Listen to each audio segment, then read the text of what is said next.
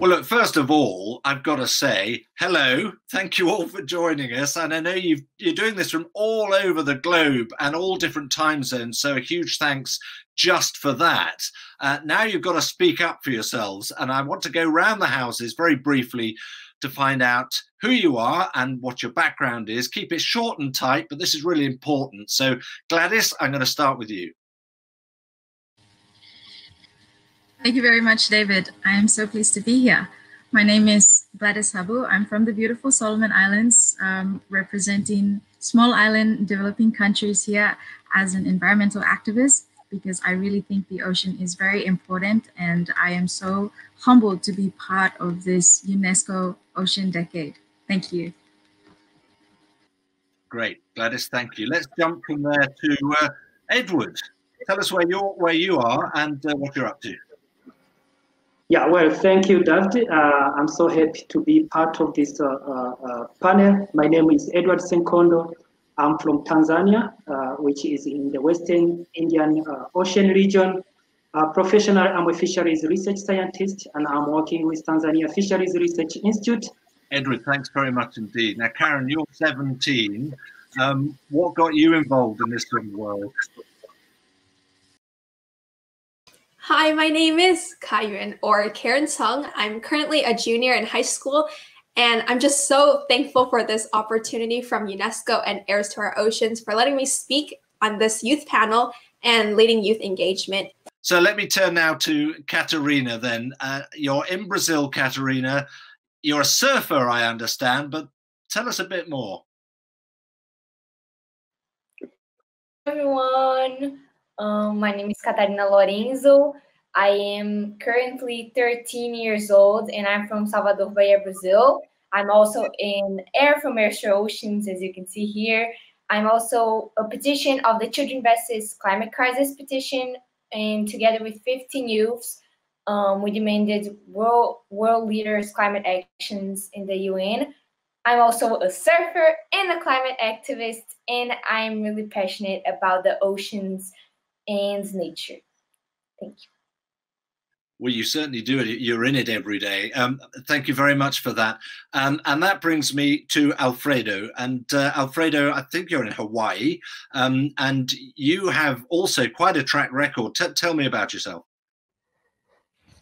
Hi, David. Thank you very much, and thank you to UNESCO for this opportunity. Uh, I am actually in Hawaii, but I am originally from Mexico City. Uh, and you will think that someone from Mexico City uh, will have a hard time having a connection to the ocean, especially when I grew up, it was six hours away at least. Uh, but since the first time I got the opportunity to get a mask and a snorkel, I could never let it go. And that's what uh, I think a lot of people watching will be delighted to hear that you just can't let it go. You say you deal, you're working within fisheries. Just give us a little bit more of an outline as to what you're trying to do. So my, my work has been primarily trying to understand how small scale fishing communities, uh, seven meters or less of, of a length for a boat, uh, interact with the ocean, how they care for their own resources, and how we can help them from a policy perspective to do that over the long term. Now, what is interesting, Edward, is that you also are involved in looking at the issue of fisheries. And I suppose one of the real challenges for, for all of us, and for you in particular, as this decade develops, is sharing knowledge. Uh, and the idea that perhaps we can have a forum where um, an expert in, in Tanzania is talking to an expert in Hawaii with a background from Mexico sort of tells the story as to what can be achieved, doesn't it? Yeah, well, uh, I'm also working with uh, fisheries here in Tanzania. And uh, as we all know, like uh, right now, uh, the world is undergoing a challenging destruction of biodiversity, including the fisheries resources. So I think the ocean, the UN, I mean, the ocean decade has come in a right time where we have to ensure that we make the conservation of these resources, very valuable resources, fish resources. So as an expert from Tanzania, I think we have to use this as an opportunity and we have to create a platform to work with different expertise like uh, the, uh, the like of Alfredo from uh, Mexico. We have to share the challenges facing both countries or I mean, both continents and to see uh, what challenges facing these fisheries resources and come up with a solution. So you're talking interestingly there about the importance of sustainability and resources, particularly focusing on fishing. But Gladys, I want to bring you in as well and, and ask you a question because you might well feel that this decade of ocean science should have started 10, 15 years ago. You know, you are facing, you are living the problem right now. Yeah, definitely. So I've I've watched a whole island come into complete non-existent. Um, Kale uh, has been home to my grandparents for many years, and we also had the opportunity to be part of this island and what it had to offer. Um, but unfortunately, now it's completely submerged underwater. And to to picture, um, you know, our tiny Kale, and then um, the thousands of islands that make up Solomon Islands, and yet even more that make up the Pacific Ocean. Um, our landmass compared to the amount of ocean that is around us is is so tiny. And with rising sea levels um, for us three times the global average i feel like um, this could take many more islands um, away from us. And we we really have to act now. Um, otherwise we're losing more of our people's land. And and that's really sad for me Karen, you can hear there that it's a it's an urgent need for. Um, Gladys is talking about a sustainable blue economy. There, we might talk about the ocean we want. I mean, what what is the ocean you want? Uh, how does that look to you? So, my view of um, the ocean decade that I want to see is obviously more attention given to the ocean, but uh, the first thing that comes to my mind when I think of the ocean decade is biodiversity and the rich biodiversity that we have in our waters. So uh, I'm basically talking about sustainable fisheries or marine prote- protected areas, ocean waste, and maritime transport. Uh, seeing as so much ocean wildlife is being exploited every year, uh, ruining marine habitats and basically value in nature. I see that change in this field is definitely necessary. Right. Yeah, absolutely. And we're gonna I'm gonna challenge you as to how we get there in a moment or two. But that does sort of fit quite well, Catarina, with your own experience of how dirty the sea can be when you you want to go out and do your stuff. Uh, and I guess from that point of view, there's a bit of a crossover with what Karen is saying there. And I notice also you've already set up your own sustainability organization. So um, it's clear that your commitment is there. But do you have a picture of the, the ocean you want in, in 10 years' time? I believe the ocean I want to see is the ocean where there is no pollution, ocean where humans live in balance with it and not really just draining like a huge amount from it and wanting it to give like more than it can. So i want an ocean that can live in peace and in balance with humans. Yeah now i'm going to just put, put something at you. I saw your t-shirt there about heirs to our oceans which is a, an, i think an american ngo which is doing what it can to to pull youngsters in particular together, but from across the globe, because you can all stand up individually and say, we want this, but finding a, a way towards a sort of collective action, that's probably the key, isn't it, Catarina? Yes.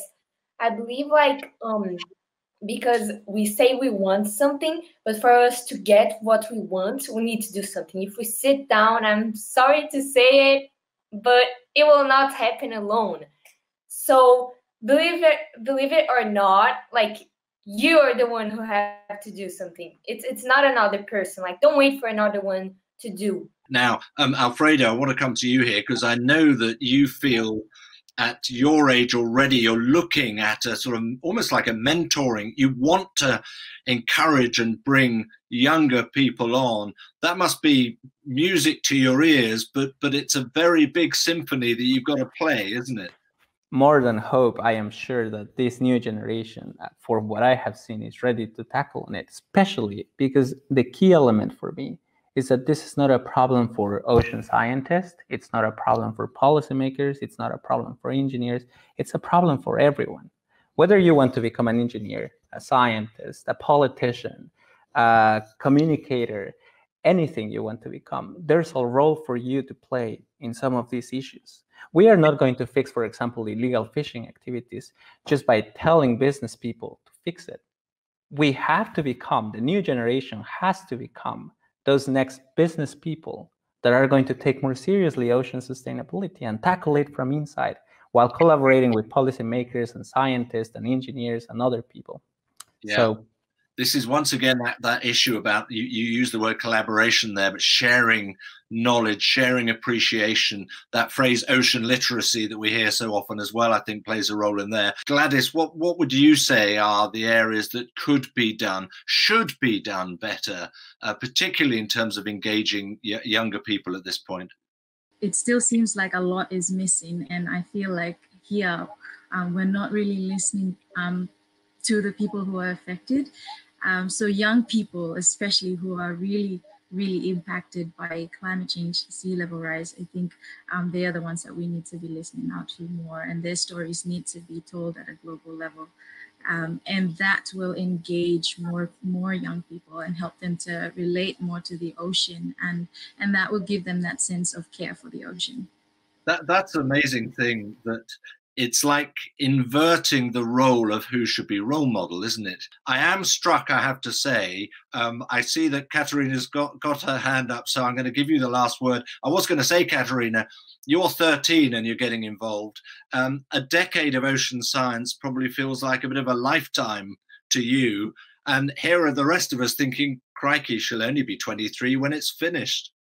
Um, for youth, um, like my age, older, or even like smaller than me to um, start taking action right now because in reality our time is running out. And when an opportunity appears to you just grab it and go take action. Yeah. Well, that's a great message to pump out there. And I would say, actually, to all of us who can describe ourselves as somewhat older than you lot, um, you provided an education to us, which is equally important at this stage. So, what I want to say now is to Karen, Catarina, to Alfredo, Edward, and of course to you, Gladys. Thank you very much indeed for sharing your thoughts on this special panel. Thank you very much.